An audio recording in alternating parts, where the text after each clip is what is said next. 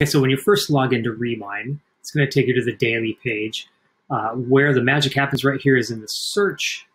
Okay.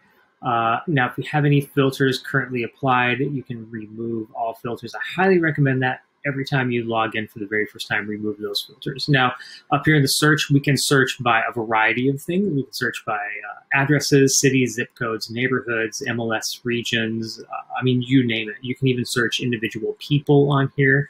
Uh, just for argument's sake, today we're just going to use a zip code 98665 and we're going to found the zip code. We're going to hit this little apply filter. And what it's going to do is it's going to put in the boundary of that specific zip code right here. and tells me that there's 9,727 parcels in that area. Now, on the left-hand side, these are all the filters that you can apply. So I can say, let's narrow that list down. I only want to do, let's see, I only want to do building type single family and I'm going to do land use residential.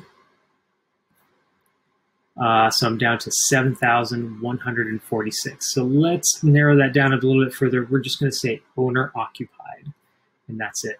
And that number should get down. Yeah, 5,700. Okay, cool. Now, there's other things I can do too. I can say like, hey, I only want people with uh, home equity, a minimum home equity of 250,000.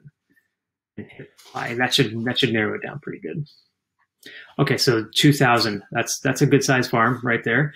Uh, so let's say that I wanted to take all of these people right here. I wanted to add them to a cart and export them later.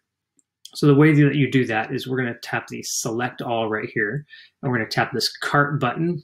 And then I'm going to add this to a cart and I'm going to say 98665 owners uh, 250K equity just like that.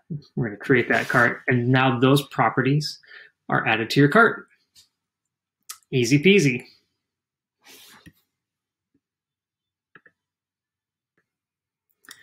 Okay, now to export that cart, it's also very, very easy. Uh, we're going to come to the left-hand side. We're going to go to carts over here. We're going to select the cart that you want to export. We're going to put a checkbox next to it and we're going to come up here to export. And then we name it 98665, uh, 250K. Uh, it can't have any characters or spaces. In fact, if you put it, it's going to say it cannot contain spaces. So, um, you know, name it accordingly. And I'm just going to leave this default right here and hit the export button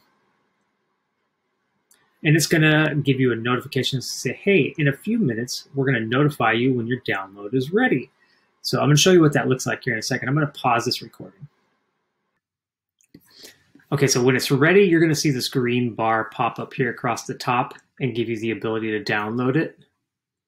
So one of the questions that I get asked quite a bit is like, what happens if I miss that little bar and it goes away?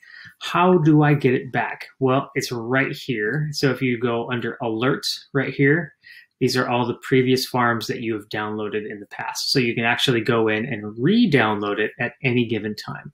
So that is how to add properties to a cart in Remine and export it to a CSV.